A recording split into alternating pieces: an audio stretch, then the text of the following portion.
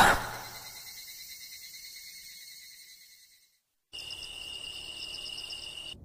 あっくんの買ってきたお酒、美味しいわ。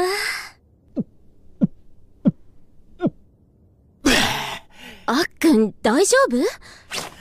綾子さんが康介さんのこと忘れられないのは知ってるよでも俺、綾子さんのこと好きだから、俺は代わりでもいい。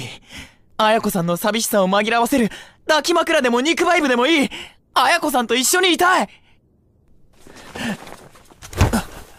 くん綾子さん、お願いがあります。あ、あれを、着てもらえませんか？う、うそれじゃあ、バイトに行ってきます。あっくん。あ